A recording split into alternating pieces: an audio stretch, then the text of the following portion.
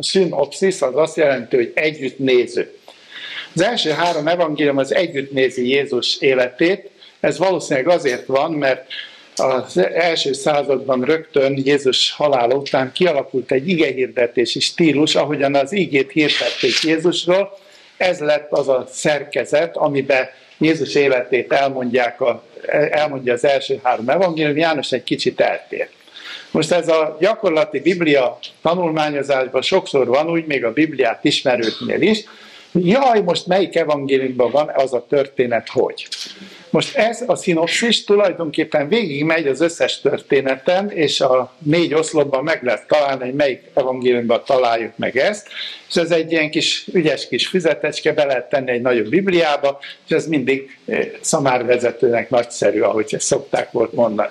Ezen kívül a végén találunk egy, egy oldaltáblázatot Jézus csodáiról, felsorolva, hogy milyen típusú csodák ezek, tehát az is megvan, és Jézus példázatainak is van egy felsorolása. Az összes Jézusi példázat benne van, kivéve a hasonlatokat, a hasonlatok azok, ez egy külön téma, de ezek nagyon hasznosak és gyakorlatilag segítenek a Biblia tanulmányozásában. Ha beteszik a Bibliájukba, nagyon sokszor lehet használni, és azért csináltak olyan kis alakúra, hogy ez beleférjen a Bibliába. Miről lesz ma szó? Emlékeznek, Máté evangéliuma kapcsán elmondtuk azt, hogy Máté evangéliuma jellegzetes irodalomtörténeti szerkezetet mutat, méghozzá olyan, mint egy piramis. És most amikor azt mondom, hogy út a csúcsra, akkor egyrészt én egy irodalomtörténeti fogalmat mondok el, hogy az első nagy jelentős beszédből, és ez az első jelentős beszéd a hegyi beszéd, ami tulajdonképpen úgy mondtuk a múlt alkalommal, hogy nem más, mint az új szövetség sínai hegye, hogyan lehet feljutni most az igazi mondani valóhoz, ami a 13. fejezet közepén van, a azt is elárultam az első alkalommal, hogy ez a kovászról szóló példázatban van, hogy hogy van belerejtve az életbe az evangélium, ezt kell tisztázni. És ami ezután következik, az mind-mind függ az előzőtől, mind-mind függ a hegyi beszédtől. És mire, mielőtt belekezdenénk, hogy legalábbis vázlatosan áttekintsük ezt az anyagot, néhány szempontot szeretnék mondani, ezt úgy mondanám, ha kicsit tudományoskodva mondanám, hogy hermeneutikai alapfogalmat szeretnék tisztázni, nem is fogalmakat, hanem inkább alapkérdéseket. Ha egy bibliai szövegre figyelünk, akkor van az első szint, amit mindig meg kell ismerni, ez a történeti szint. Tehát a Biblia egy történetet mond el, és ezzel a történettel tisztába kell lenni, ilyen kérdések, hogy ki volt ez a Jézus, mit tett az emberekkel, hogyan fogadták az emberek, hogyan illeszkedik be ez a korabeli világba, hogy a korabeli földrajzi, társadalmi, szociális, gazdasági, stb. körülmények közé a gondolkodási rendszerbe. Ez a történelmi szint, vagy történeti szint. Ez azt jelenti, hogy egy bibliai ige az nem úgy jött létre, hogy a égből hullott, vagy egy angyal lediktálta mondjuk Máténak, hanem ez mindig a kor kontextusába, összefüggésébe érthető. Ha valaki nem ezt csinálja, akkor nagyon gyakran mellé nyúl, de nem is ez a baj, hogy mellé nyúl, hanem nagyon gyakran félremagyarázások egész sorát hozza ez létre, mert a mi életünket belemagyarázzuk a régibe. Ezért mindig az első kérdés az, hogy mit mondott akkor, amikor elhangzott ez az ige, tehát ez a történeti szint, amivel tisztába kell lenni. De van egy második emelete is, ez az irodalom történeti. Tudnék, ebből a történetből egy írásmű lett. Máté evangélium az egy megfogható írásmű, nem akárhogy összelapátolt szövegez, hanem ha hogy tetszenek látni, ez nagyon szép rendbe, művészi pontossággal megírt irodalmi alkotás. Egy irodalmi alkotásnál is mindig meg kell nézni azt, hogy mi volt Máté bizonyságtevésének a szándéka. Aztán, mi a ránk maradt szöveg irodalmi szerkezete? Aztán, milyen nyelvi háttere van ennek? Az egyes kifejezések mit jelentenek? Az egyes fogalmak mit jelentenek? Mert ha ezt nem nézzük meg a korba, irodalom történetileg nem nézzük meg a szöveget, akkor megint a belemagyarázások egész sora van. Erre hadd mondjak egy mókás példát, egyszer régen hajdanában, rövid és eseménytelen életem során kaptam egy szöveget, amit lektorálnunk kellett, nem mondom meg, hogy ki egy jeles külföldi evangélista írta, amiben az, az fordította a fordító, aki nem is fordított, hanem inkább ferdített, meg kiegészítette a szöveget, és maga értelmezte. Van a Károli Bibliában egy ilyen szakasz, hogy, hogy Pál nem ment be Efézusba, mert nem akart ott sok időt múlatni. És ezért elhajózott Ázsia mellett. Meg tudnám keresni az apostolok cselekedetében. Most jött a magyarázat. Az Ázsia szimbolikusan értető a bűnkontinense. Miért? Senki nem tudja. Aztán azért utazott Pál hajón, azért hajózott el, mert a hajón való utazás az a bizonytalan életnek a szimbóluma. Én mindig azt hittem, hogy azért utazott hajón, mert ott tenger volt, de hát én ilyen naiv lélek vagyok. Hát ez, ez felhomályosított, hogy nem így van. Azután azt mondja, mert a Ázsia az a bűn kontinense, mert ott mulatnak az emberek. Na most e- ekkor már mérges lettem, mert a időt mulatni, meg mulatni, az két különböző dolog. E, e, na most, még volt ilyen nyalánkság benne, hogy a, a kocsin való utazás az a biztos életforma része, mert a négy kerekű kocsinak az első kereke ez, a második kereke az, a harmadik kereke az. Persze megint tudtam azt, hogy akkor csak két kerekű kocsin utaztak, de hát akkor nem jött volna ki az a magyarázkodás, amit az illető mondott. Na most, ez egy tipikus példája annak, hogy mi van akkor, hogyha nem irodalom történetileg fogalomokat nem az akkori ember szemével értjük, és akkor a belemagyarázásnak adunk egy hatalmas nagy teret. De még itt mindig nincs vége egy ige megértésének. A történet és irodalom történeti szint után van egy harmadik szint, ezt én úgy mondanám, hogy egzisztenciális szint. Minden irodalmi alkotás, ez nem csak a Bibliával van ám így, azért érdekes és azért izgalmas, mert valamit mond ma nekem. És ez az egzisztenciális szint az az, hogy ilyeneket kell magamtól megkérdezni. Milyen helyzetben vagyok én? Ebben a helyzetben az, amit itt leírva találok, mit mond én nekem? Merre keresem a megoldást? Mit akar Isten én velem elérni ennek az igének a kapcsán? Ezeket az egzisztenciális kérdéseket is érdemes feltenni, mert így lesz izgalmas egy régi szöveg, így lesz nagyon mai.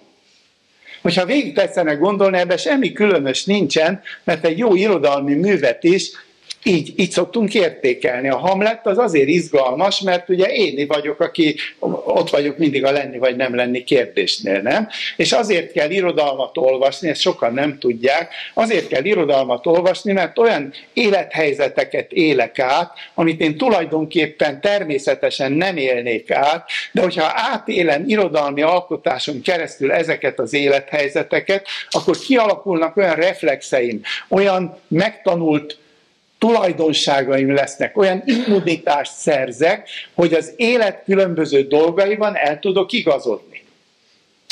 Csak szögletes zárójelbe jegyzem meg, mert rengeteg mondani való van, de ezt nem tudom megállni, hogy el nem mondja. A televíziós mese azért kártékony a gyerekeknek. Ezt a mamáknak üzenem.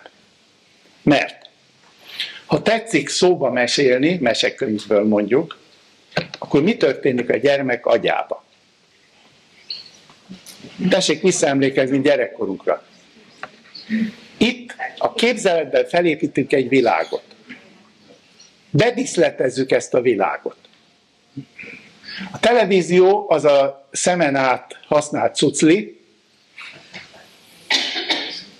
ami megakadályozza ezt. Na most ez miért baj? Tetszik tudni, hogy mi az egyetemen mivel küzdködünk? Kislány jön vizsgára, elmondja brr, így a adatokat, mindent, és akkor mondom, drága lelkem, hogy beszél róla valamit. Erre elbőgi magát, hát mit elmondtam mindent. Mondom az adatokat. De oda kell állni, és ezt képszerűen el kell mondani. Ja, ezt nem tudja. Miért nem? Mert nem olvasáson keresztül építette fel a képet, hanem kész képeket vittük be, kész étellel etettük, és nem pedig igazi étellel az illetőt, és ezért egy innovációra, tehát új gondolkodási módra alkalmatlan népség nő fel. Igenis, mamák, nagymamák, tessék csak olvasni mesét a gyerekeknek, nagyon jót tesz. Nagyon kell, hogy a fantáziájukat neveljük. Na mindegy, ez szögletes zárójel, ezt a pedagógus mondatta belőlem. Nézzük most, hogy mi történt itt tulajdonképpen. Azt látjuk, hogyha kinyitjuk a Bibliát, ugye tetszettek hozni Bibliát, már nagyon soknál látom, nagyon-nagyon nagyszerű dolog, és nagyon örülök. Ma sokat fogunk lapozni benne, mert a feladatunk, azt is elárulom, a 8-tól egészen 12. fejezetnek az áttekintése. Ugye volt egy nagy beszédblokk, és Máté így épült fel, utána következik egy történetblokk. De mi ennek a történetblokknak a lényege? A 8.-9. fejezet egy olyan történeti blokk, amiben nem másról van szó, mint Jézus tíz csodatételéről. Csak ezt a tíz csodatétel helyé, a, a csodatételhez én egy, egy, egy, egy kérdőjelet tennék, mert ez egy különleges evangéliumi csodatétel sor. Miért történik ez?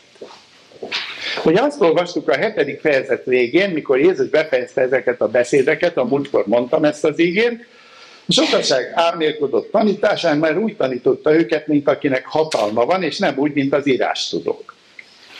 Na most, ebből milyen magatartás következik? Mert ezeknek a történeti blokkoknak mindig az a lényege, hogy nem csak Jézus tanítása az, ami a kereszténység szempontjából fontos, hanem Jézus cselekedetei is fontosak, mert ezek a Jézusi cselekedetek újra történnek mivelük. De hogyan? Mi történik itt? Ha megnézzük, ez mind a tíz történet drámai történet. Van két pólusa.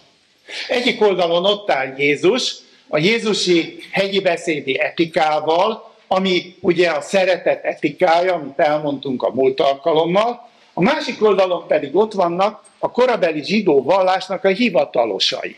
Ezek a zsidó hivatalosok, a zsidó vallás hivatalosai, ezek nagyon érdekes emberek. A betű rabságában élnek, így mondja róluk Pál.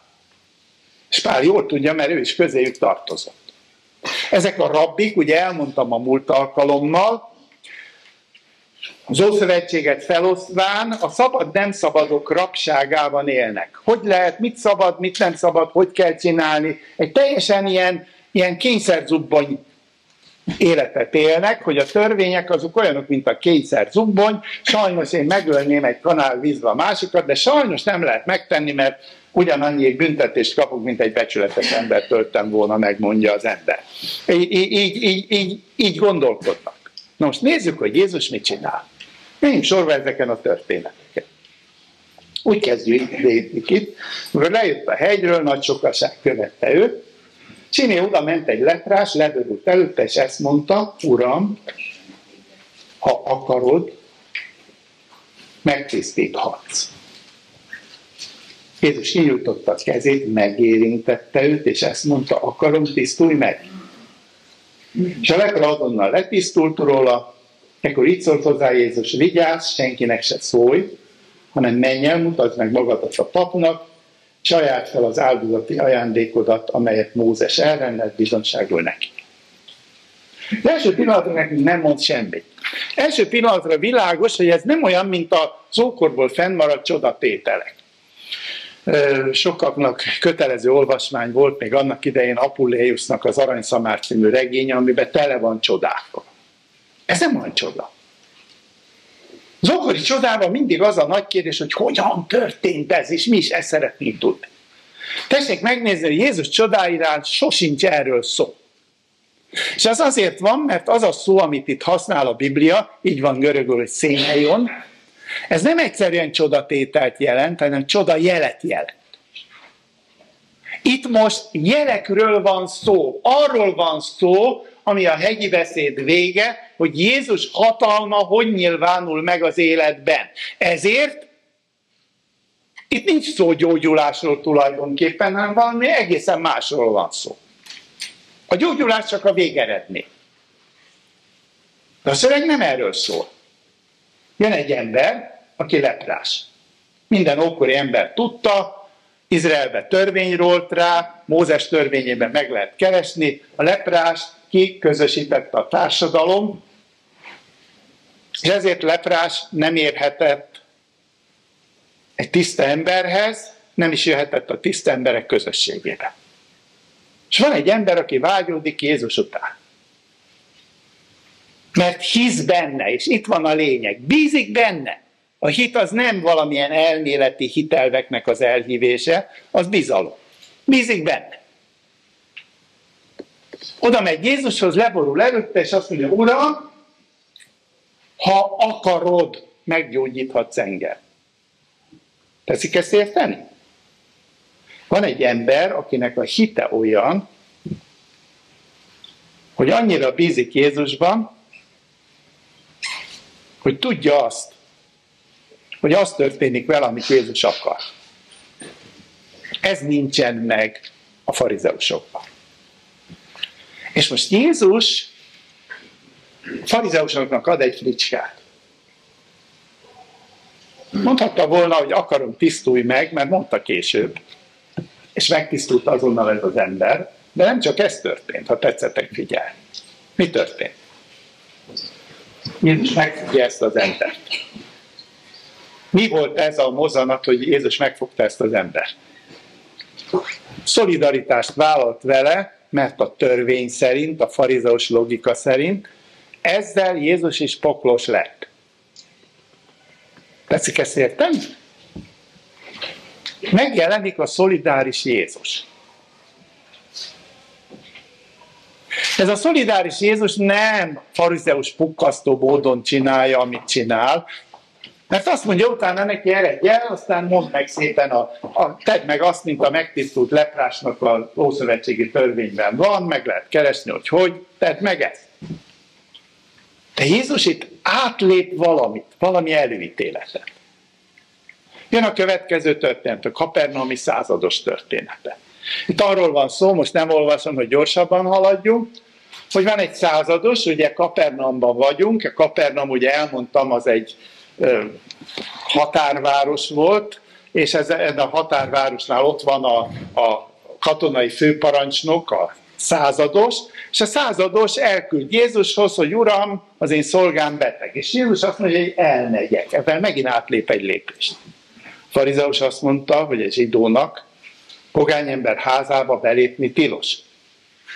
Egy picit tetszenek ismerni a Bibliát, akkor egy másik újszövetségi történetre és az apostolok cselekedetének tizedik fejezetére hagyott aljak, hogy Cornélius házába belépni, Péter mennyire nem akart, és egy látomást kellett látni neki ahhoz, hogy, hogy be tudjon menni, mert a zsidóknak ez tilos volt. És Jézus elindul, hogy belép a százados házába. Megint átlép egy határt Jézus. Farizeusok egyre idegesebben néznek Jézusra. De megint megnyilvánul a hit. Mert itt sem gyógyítási történetről van szó, nincs semmi, hogy most milyen imádságot mondott, milyen ráolvasó szöveget mondott Jézus, hogy történt ez, mint történt ez, hanem egyszerűen Cornélius, illetve bocsánat, a kapernaumi századosnak van annyi hite, hogy azt mondja, hogy Uram, nem szükséges, hogy fáradj. Szólj, mert én is szólok, parancsot adok, és a te szolgád meggyógyul. Ez történik. Jézus azt mondja, hogy ilyen hitet Izraelben sem látok. Kiderül, hogy ezeknek a történeteknek mindig a hit a mozgatója. A hit pedig nem valaminek az elhívése, mi keresztény emberek nem valamiben hiszünk, hanem valakiben való bizalom. És ez a valaki nem más, mint Jézus. A Jézusban való bizalom.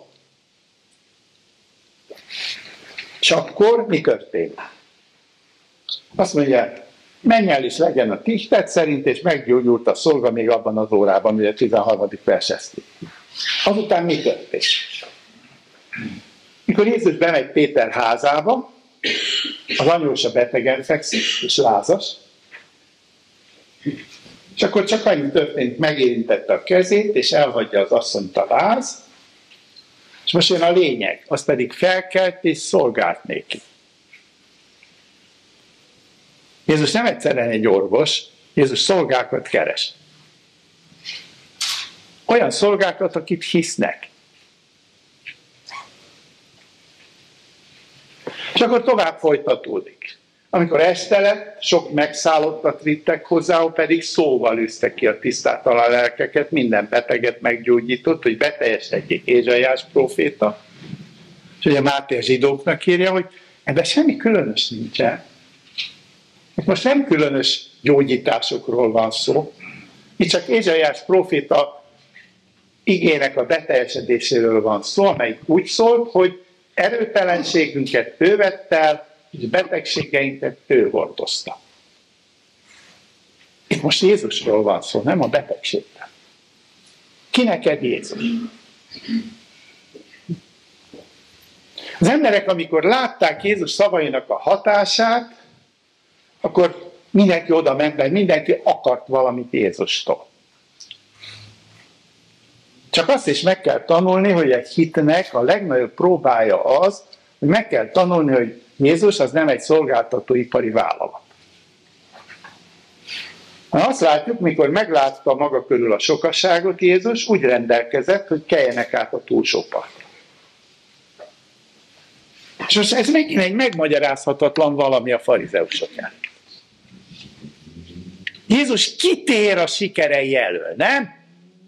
Jézus sikeres, mert mindenki, ó, itt egy csodafedő, így most, ilyen csoda, olyan csoda, amolyan csoda. És Jézus azt mondja, nem, most átmegyünk a túlsó partra. Hát ha én Péter helyébe lettem volna, azt mondtam volna, Jézus, hát van egy csöpp eszed, hát most indul be a bót, nem? Csak Jézusnál meg kell tanulni, hogy ő nem szolgáltatóipari vállalat. És ez a 21. századi kereszténységnek is üzenet, mert nagyon sok ember szeretne bírni mondjuk Isten szent lelkével, csak a szent lélek nem bír velük. Ugye? Mert én akarom irányítani az Istent, és nem az Isten irányítását kérem én. Tetszik érteni? Tehát én, Istenem, majd én megmondom neked, hogy te mit csinálj, mert te mindenható vagy, és ha azt csinálod, akkor Isten vagy. Ha nem, hát akkor sajnos elválnak útjaid. Nagyon sok ember így gondolkodik. Itt is jönnek, mester, követlek akárhová, még, ugye? Mert gondolták, hogy ellesik ezt a praktikát, de milyen jó üzlet ez. Jézus visszautasítja őket. A rókáknak van barlangjuk, az égmadarainak van fészkük, de az ember fiának nincs hová lehajtani a fejét. Egy másik tanítvány mondja, Uram, engedd meg, hogy előbb elmenjek, eltemessem az apámat. Ez nem azt jelenti, hogy akkor halt meg az apja, körülbelül kell egy picit tudni. Az igeidő azt mondja, hogy engedd meg, hogy addig, amíg meg nem hal az apám, otthon legyek. Ez pontosan időileg így van. Tehát első ugye a családi dolgaimat elintézem.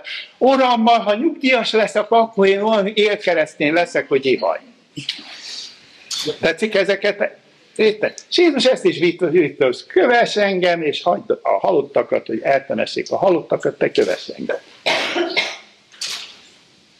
És akkor beszállnak a hajóba,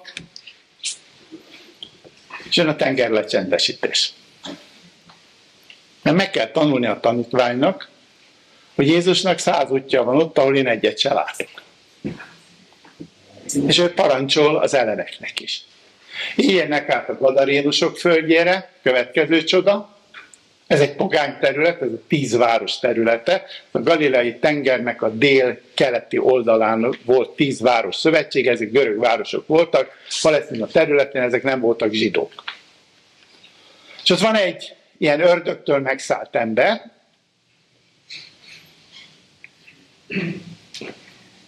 és Jézus találkozik vele. És Jézus kiűzi belőle az ördögöt. De nagyon érdekes módon. Azért, hogy Jézus tanítson, és ezért nem egyszerű csodákról van itt szó, hanem ezek csoda jelek, szémeljon. Tehát itt mindig van egy plusz tartalma a gyógyuláson túl. Úgy üzik ki, hogy Ugye ez a terület az nagy disznónyájaknak a területe volt. A zsidók mindig borzongtak is tőle, mert zsidók tisztátalan állatnak tartják a disznót. És megengedi az ördöngös léleknek, hogy a disznónyáj az ba költözzen, és ezek belerohannak a galileai tengerbe, és ott lesznek. Mire volt ez jó? Mi nagyon sokszor szeretnék az Istent az anyagi érdekeltséget, tehát bevonni az üzletbe, bizniszbe. És Jézus azt mondja, hogy egy ember pontosan, mint a disznónyáj, vagy bármilyen más érték. Ezt a gadaraiak nem így látják, nagyon udvariasan megkérik, hogy légy szíves, menjél el. Nagyon nagyszerű volt, de még egy ilyen csoda, és tönkre megyünk. Figyeljük meg, hogy ezek mennyire mai történetek. És aztán 9. fejezetben Jézus visszajön. Ugye? És akkor Jézus hajóra szállt, átkelt, elment a maga városába, ugye Kapernaum megint, vittek hozzá egy bénát, aki ágyba feküdt. De Jézus egy nagyon furcsát mond. Azt mondja, bízál, fiam, megbocsájtottak a te bűneit abban a pillanatban a teológiai egyensúly összeomlott a farizeusokra. Hogy mondhat ez ilyet, hogy megbocsátottak e te bűneit? Jézus azt mondja, hogy van hatalma az ember fiának megbocsájtani a bűnöket a földön, ezt lássátok meg, kell és jár, felkelt és jár. Mindenki erről beszél. Hogy lehet ez? Teológiailag, elvileg jó ez, vagy nem? Kereszténységben mindig akkor van a baj, amikor elvi problémákat csinálunk a gyakorlati kérdésekben. Kereszténység az egy gyakorlati dolog, nem egy elméleti dolog. És az élet, az sose fér bele a legjobb elméletbe se. Ezt nem tudja a farizeus. És Jézus megy, nem nagyon törődik az emberekkel. Egyik oldalon ott van a csodálkozó tömeg, hú, is oda szenzáció, ez a béna meggyógyul. Ott vannak a büszke tanítványok, na, milyen mesterünk van, na, milyen mester szolgálatába szegődtünk. Ott vannak a farizeusok, akik lesznek és spekulálnak, hogy lehetne ebbe belekötni. És Jézus semmit nem vesz észre, nem törődik egyikkel sem. Elérkeznek így Kapernaum kapujához. Ott a vámos. Határváros, ott a vámos. Vámos az sosem volt kedves ember. És most jön a nagy fordulat. Kiderül, hogy Jézus pontosan ezért az emberért jön. Mert Jézusnak nincsenek előítéletei. Jézus átlát ennek az embernek a vámos asztalán. Egészen Máté szívéig, mert Lévi Máté ez a vámos. Evangélium írója. Múltkor megkérdezte valaki tőlem, hogy Lévi, hogy Máté ez kettő vagy nem. Két nevű emberek, ugye ezt az első alkalommal mondtam, két nevű emberek nagyon sokszor voltak az ókorban, mert ez egyik görög név, a másik pedig Héber név. De a Héber névben is van két vagy három nevű ember is, Tudni, az ókori ember az nem úgy kapta a nevet, mint mi, hogy tudom, az anyakönyvvezetőnél bediktált egy nevet a mamánk, hanem az ókori embernek a neve az az egyéniségének a része volt, és ugye nagyon sok névváltozást is tudunk a Bibliából. A Lévi név az Máté lett, mert a Máté a szebb a tartalma. Azt mondja, hogy Isten ajándéka. És ez, ez a történetnek a szíve. Mert Jézus azt mondja Máténak, hogy gyere és kövess engem. Az ott hagy minden, megvendégeli Jézus, farizeusok megint, ó, egy vámszedőhöz megy vendégségvel, leül együtt tenni. Hát a bűnösökkel nem szabad együtt tenni. Megint Jézus átlép egy határt. De Jézus mindig, minden történetben tessék megnézni, oda lát fel, ahol a mi emberségünknek a döntő része van. Ő mindig az embert keresi. Ezután a történet után pedig Jézus a bőjtről kezd tanítani, mert ugye előhoznak egy olyan kérdést, hogy, hogy hát ugye a bőjt, ugye most ezek a vallásos cselekmények hogy vannak, és azt mondja, hogy nem. Nem tudjátok. Itt jön a senki sem tesz új foltot a senki teszem foltot új posztóból a régi ruhára, mert a toldás kitépve a ruhát, új bort sem töltenek régi tömlőbe, stb. Az új, az új az azért más, mert meg kell tanulni a törvényt a szeretet oldaláról nézni. Ahogy a múltkori példában mondtam, a kert tartalma felől kell nézni, és nem a kerítés felől kell nézni a kertet. Tetszik érteni? A törvény az egy kerítés, de a kerítés a kertér van. Nem a kerítés rossz, hanem az a rossz, hogyha a kerítés fontosabb lesz, mint a kert. És a Jézusnak ez az új szemlélete. Azt mondja, János tanítványa megkérdezik, miért van az, hogy mi a farizeusok sokkal böjtölünk, de a tanítványai pedig nem böjtölnek. Azt mondja Jézus, hogy nem ez a lényeg. A bőjt az önmagában nem érdemszerző jó cselekedet. Ne külső vallásoskodással akar vallásos lenni, Krisztus követője lenni, hanem a Krisztus követés az arra jó, hogy a másikba vedd észre az embert nagyobb betűvel írt ember legyél. Utána jön ez a kettős csoda, a vérfolyásos asszonynak a meggyógyítása és Jairus leánya. Ugye jön egy zsinagóga vezető, kétségbe esve, hogy a lányom meghalt. Jézus elmegy, hogy meggyógyítsa őt. És közben van egy vérfolyásos asszony. Az ilyen asszony, ezt tisztátalan el kell olvasni, Mózes harmadik könyvének 15. fejezetében részletesen megvan, hogy ilyennek nem szabad ért. Megérti És Jézus észreveszi. Mert Jézus ezeket az apró érintéseket is észreveszi. Tehát azt mondta magába, ha csak megérintem a ruháját, meggyógyulok. Amikor Jézus megfordult, meglátta őt, bizzánk lányom, a hited megtartott téged. Ugye megint a hitről van szó. És megint az emberi könyörületről. És megint arról van szó, hogy megint kap a farizeusi törvényeskedés egy pofont. Érkezik el Jarius házába, kiküld mindenkit, azt mondja, nem halt meg, csak aluszik. Lányka, kelj fel, Tavita Kumi, ugye leírja még a többi evangélium is ezt a arám kifejezést, kelj fel. Megfogja a lány kezét, és nincs semmi, hogy hogyan, mint, csak egyszerűen Jézus könyörült.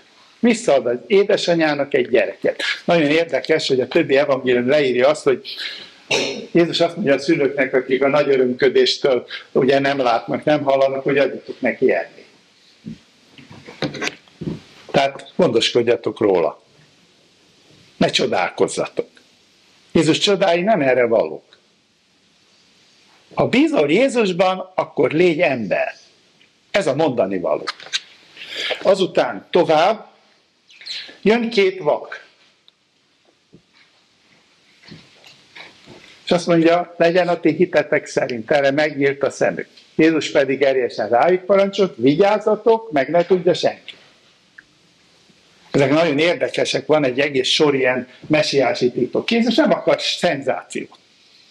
Jézus hitet akar. A hit az eltakarja a szenzációt. Ez nagyon-nagyon fontos dolog. Sok ember azt gondolja, hogy a csoda az hitet terem. Nem igaz. A hit terem csodát, de a csoda soha nem terem hitet. Ez egy nagyon fontos dolog. Utána jön egy megszállott néma, azt is meggyógyítja, Jézus. És akkor azt mondja, hogy sose láttak ilyet Izraelben. Farizeusok meg azt mondták, az ördögök fejedelmének segítségével űzik ki az ördögöket. Nézzük meg, hogy nyílik az olló. Egyik oldalon a farizeusok egyre több bizonyítékot találnak, hogy Jézus átlépi az elavult ócska törvényeket, azokat a törvényeket, amiket az emberek hoztak. Nem az Isten törvényét, nem a tíz parancsolatot, hanem a tíz parancsolat lényegét szabadítja ki az emberi hagyományok poshat mocsarából. De a farizeus a formát nézi, Jézus a tartalmat. És egyre világosabb, hogy összeegyeztethetetlen a kettő. És akkor ez a történet rész egy összefoglalással ér vége. Az összefoglalás így szól. Jézus bejárta a városokat és a falvakat mind, tanított a zsinagógában, hirdette a mennyek országának evangéliumát, gyógyított mindenféle betegséget és erőtelenséget. Amikor látta a sokaságot, megszánta őket, mert elgyötörtek és elesettek voltak, mint a juhok pásztor nélkül. Ekkor így szólt a tanítványaihoz az aratni való sok, a munkás kevés, kérjétek tehát az aratás urát, hogy küldjön munkásokat az ő aratásába. Ez nagyon érdekes valami. Jézus elmegy és keresi az embert. Körüljárja rendszeresen, módszeresen a városokat és a falvakat mind. Elmegy oda, ahol az emberek vannak, ahol imádkoznak a zsinagógában. Csak Jézus szeme más. És ez ennek a szakasznak az igazi mondani valója. A farizeus azt nézi, mit szabad, mit nem szabad. A farizeus a törvény szemüvegén át néz mindent. Ezzel szemben Jézus másképp lát. Azt olvassuk, hogy Jézus itt úgy látott, hogy látta a sokaságot, úgy, ahogy van, és megszánta őket. Így fordítja ez a fordítás. A régi Károliban az van, hogy könyörületességre indul a rajt. Nagyon jó ez a könyörületességre indul a rajtuk, ez jobban kifejezi, mint a szán, megszánta, mert a megszánta szóval én nem vagyok kivékülve, szóval szánom bánomot jelent magyarul ma. Jézus nem szánakozott, Jézus könyörületességre indult. És ebben benne van ebben a szóban, hogy indult. Tetszik érteni? Hogy csinált valamit. Jézus ott segített, ahol az ember megszorult. És ez vezeti be tulajdonképpen a következő tizedik fejezetet, ami megint egy beszédblokk. Jézus kiküldi a tanítványait. Jézus azt akarja, hogy aki az ő követője, az a másokért itt élő ember legyen. Ez az evangélium lényege. Hogy a te életednek a célja az nem te benned van, nagyon sok ember azt gondolja a 21. században, hogy van a világ, ebben vagyok én, és én értem van a világot. A világ csak azért van, hogy jó magas talpazat legyen, amire én fölmászok, én vagyok a szobor, a többi a talpazat. Nem. A Krisztus élet az azt jelenti, hogy a másik emberért élek, és ezért vagyok boldog. Boldognak nem lehet egyedül lenni. Sírni lehet egyedül, de boldognak nem lehet egyedül lenni. Nekem meg kell osztanom az életem a másikkal. Ez az életnek a nagy törvénye. És Jézus szeme ilyen. Farizeus szeme az, hogy húha, Hol lehet valami törvényt ráhúzni még az emberre? Hol lehet még egy újabb kényszer zubbonnyal megkötözni az embert, hogy mindenki jobbrát, balrát induljon az üdvösség útján? Jézus azt mondja, nem. Hol lehet felszabadítani az embert az örömre, a szeretetre? Mert parancsból se lehet szeretni. Vagy lehet? Ez a Jézusi logika. És utána jön ez a nagy kiküldő beszéd, megint egy beszéd, ezt is érdemes volna nagyon részletesen megelemezni, de én csak azt mondom, hogy magához hívja a 12 tanítvány, hatalmat adott neki a tisztátalan lélek felett, hogy kiűzzék azokat, gyógyítsanak mindenféle betegséget és erőtelenséget, felruházza őket Jézus. Miért? Nem azért, hogy az énük kerüljön elő, hanem azért, hogy szolgálni tudjanak a másiknak, értelme legyen az életüknek. És akkor felsorolja a tanítványok listáját, ezt a 12-t küldte ki Jézus, és akkor elmondja azt, hogy ez a parancsa az 5. verstől 15. versig parancsa kiküldetésre, elmondja, hogy ne a pogányokhoz menjetek, menjetek Izrael elszélet juhaihoz, szolgáljátok az embert, gyógyítsatok mindenféle erőstelenséget, támasztátok fel a a halottakat, a leprásokat, ördöngősöket tűzzétek, és leprásokat tisztítsátok meg, ingyen vettétek, ingyen adjátok. Ez, ez, ez, ez az ingyen, ez nem csak azt jelenti, hogy pénz nélkül, hanem ne a szenzációra törekedjetek, és ne arra, hogy, hogy most ezért Kossuth díjat kapjanak. Én jó ember leszek, de legalább Kossuth díjat adjanak érte. Ez nem ez a Krisztusi magatartás. Utána jön a elmondja a kiküldetés nehézségének a, a nehézségeit, hogy elküldlek úgy, mint juhokat a farkasok közé 16 tól 28. versig, óvakodjatok, üldözni fognak titeket, elmondja, hogy segíteni fog abban, hogy bizonyságot tegyenek, elmondja azt, hogy lelepleződnek, végül az ellenség lelepleződik, és utána befejezi ezt azzal, hogy a gondviselés igéit mondja el, mert elmondja itt a 29. verstől egészen a 33. versig, hogy ugye a, verévnek párja egy fillér, és egy sem esik közülük a földre, és ne féljetek, mert egy kis verebecskénél itt drágábbak vagytok. És aztán azt mondja, aki vallást tesz én rólam az emberek előtt, én is vallást teszek arról az Isten előtt. És jön egy nagyon fontos dolog hogy ez a Jézusi üzenet, ez megosztást hoz.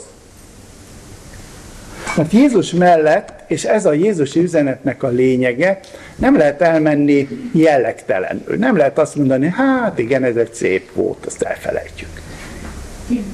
Mert ahol megjelenik ez a fajta Jézusi emberség, ott mindig döntenem kell. Vagy mellette, vagy ellene. Vagy a farizeusokhoz kell döntenem, vagy pedig Jézus tanítványává kellene.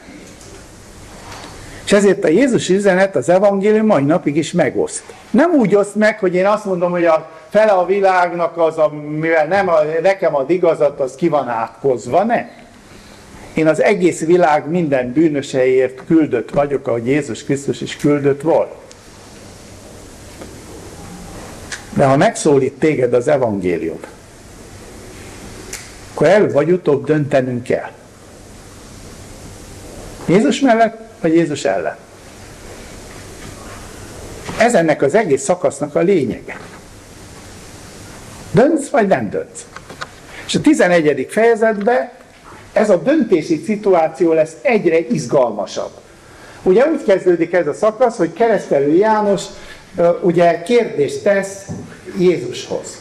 Já, keresztelő János ugye börtönbe vetik, és ugye a börtönből elküldi a tanítványait, és megkérdezi, te vagy az eljövendő, vagy mást várja.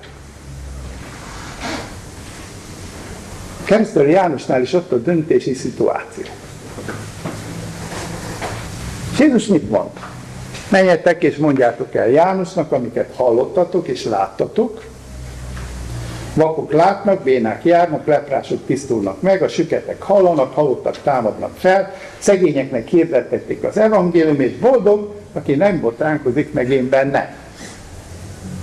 Nagyon érdekes, hogy Jézus nem elvileg, nem profécia magyarázattal, nem ezzel azzal felel, hanem a gyakorlattal. Az evangélium használható dolog. Ha ez az evangélium nem használható dolog, akkor keresztelő Jánosnak sincs reménye. De az evangélium használható dolog. Mondjátok meg, ami történt. És akkor elmondja a tanítványainak, hogy miért nem tettek ki a pusztába. Szélingattan átszállat látni. Ugye miért mentetek ki? Puha ruhába öltözött embert látni, hiszen akik puha ruhát viselnek, a királyi palotájában vannak. Tehát miért mentetek ki? Profétát látni? Azt láttok, sőt mondom nektek, a profétánál nagyobbat. Ő az, akiről megvan írva, én elküldöm előttem követemet, előkészíti a utat, stb. és elmondja, hogy keresztelő János a legnagyobb proféta. De a profétának az a lényege, hogy rámutasson erre a másra, a Jézusban megvalósuló másféle életre.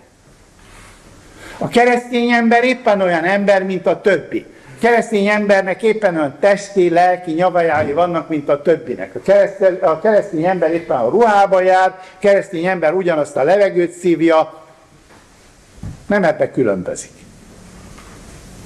De a keresztény ember az másokért itt élő ember. Krisztustól fölszabadult ember. Akin keresztül Jézus szolgál, annyira vagy keresztény, amennyire szolgálsz a másik embernek, a nem kereszténynek. Ezt nem teszed, akkor nincs közöd Jézushoz.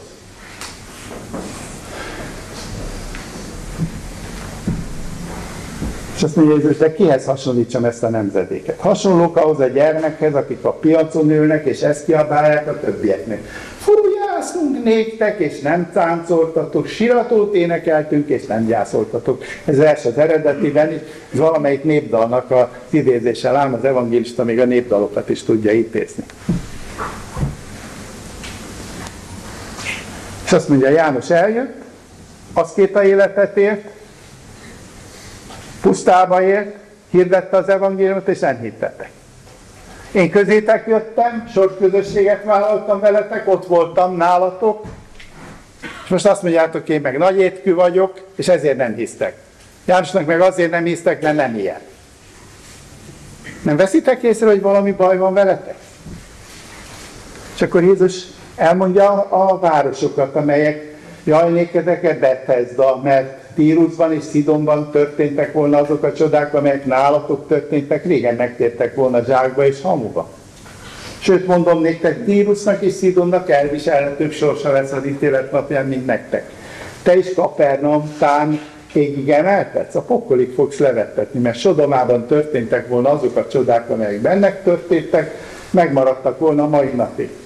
Sőt, mondom néktek, hogy Sodoma földjének elviselhetőbb sorsa lesz az ítélet napján, mint nektek. Jézus azért mondja ezeket a kemény szavakat, mert Jézus minden cselekedete mesiási jele, ez a tíz mesiási jel, amit elsoroltunk az előbb, az arra utal, hogy szükségem van dönteni. Dönteni Jézus mellett. Elfogadom-e Jézust, vagy ne?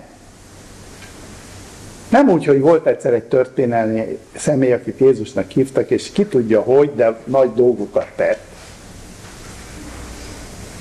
Hanem úgy, hogy van egy Jézus, amelyik egy másféle életszemléletet hoz az én életembe. Ez az evangélium titka. És éppen ezért ez a Jézus úgy szólal meg a 11. fejezet végén, hogy jöjjetek én hozzám minnyájan, akik megfáradtak, és meg vagytok terhelve, és én megnyugvást adok néktek, vegyétek magatokra az énigámot, ugye erről beszéltünk eddig, hogy mi ez az énigám, és tanuljátok meg tőlem, hogy szelíd vagyok, és alázatos szívű, és megnyugvást találtok lelketeknek, mert az énigám boldogító, az én terhem könnyű.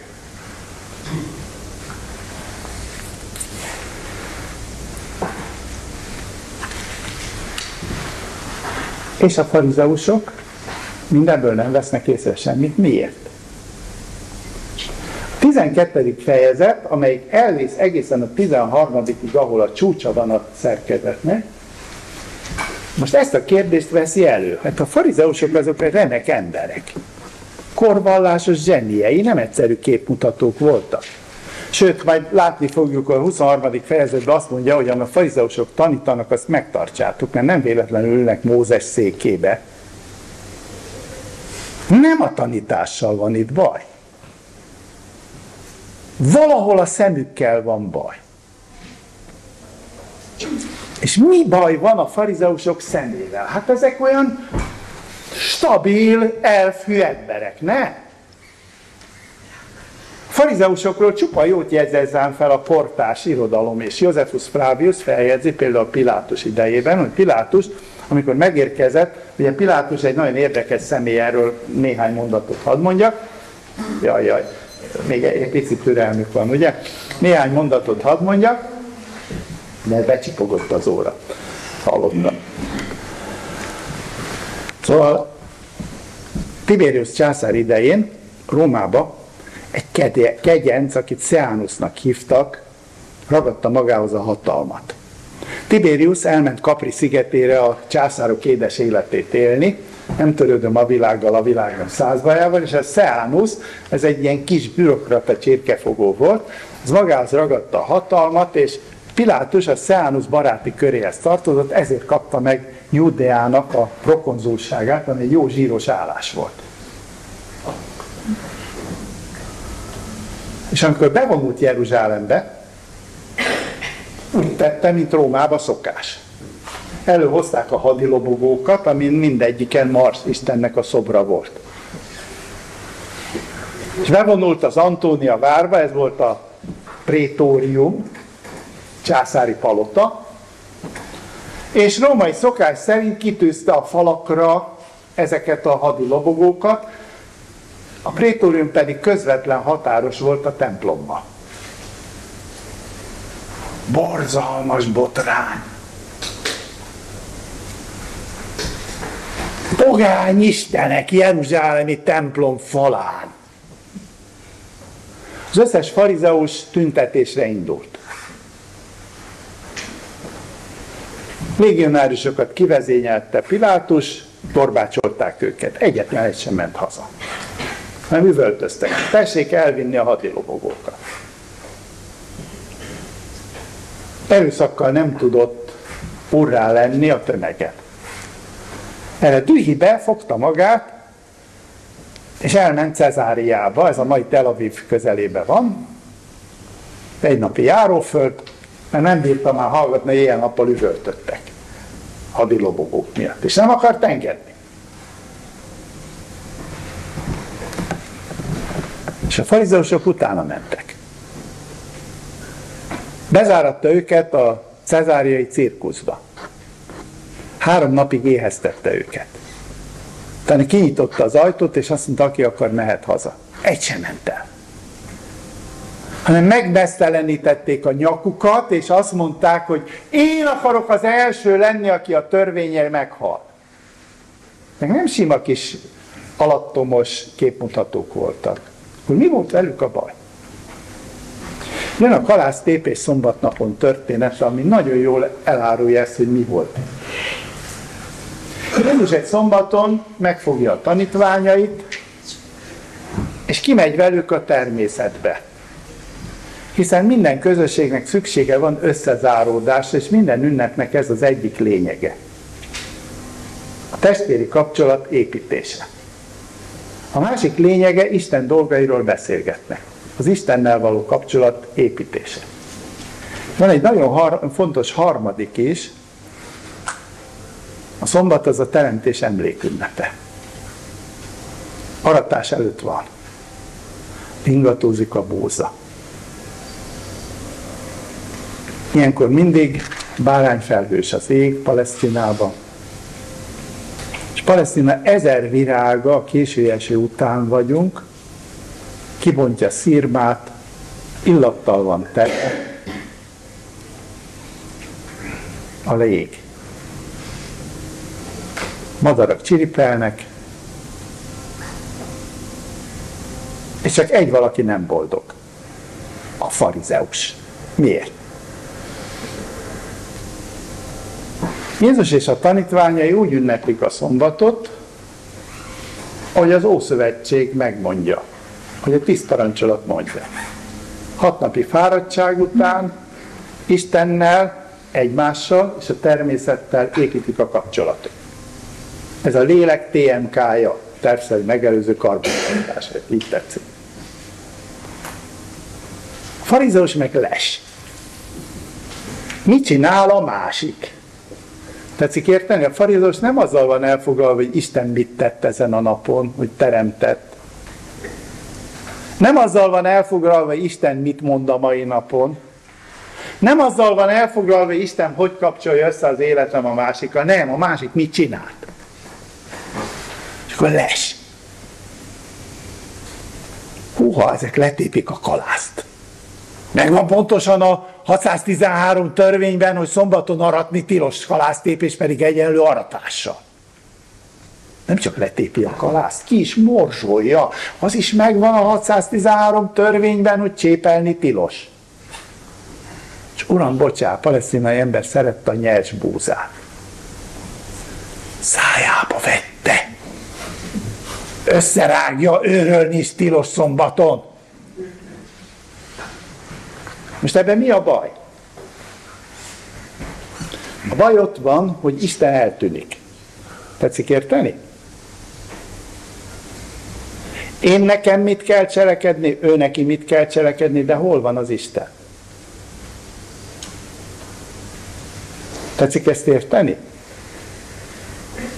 Ez a farizeus baja. Az énje eltakarja az Istent. Hiába hatalmas az Isten, vagy hiába hatalmas a nap az égen, egy forint is el tudja takarni, ha túl közel tartom a szememhez, nem? Forintosan is el lehet takarni a napot.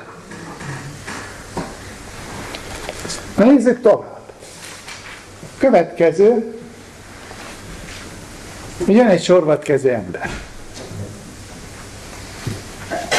És Jézus megszánja, mert az Istennel, a másik emberrel és a világgal kapcsolatba kerülő ember az az embert keresi, és az ember jönnek a teológusok neki. Hú, ha szabad-e szombatnapon sorvatkezőt gyógyítani? És ennek a vége az, hogy Jézus belgadók szövetségesének mondják, akkor Jézus odaállítják, hogy na most mutass nekünk jelet, vitatkozzunk egy kicsit, Jézus nem mutat nekik jelet, és eljut a történet egészen odáig, és itt fogjuk folytatni jövő hét utáni héten, ugye? Jövő héten, március 15 nem találkozunk. Oda jut el, oda jut el, hogy a tulajdon rokonai sem értik Jézust. És itt a nagy kérdőjel. Drámai kérdőjel. Hát akkor mi ez az Isten országa? Na itt fogjuk folytatni.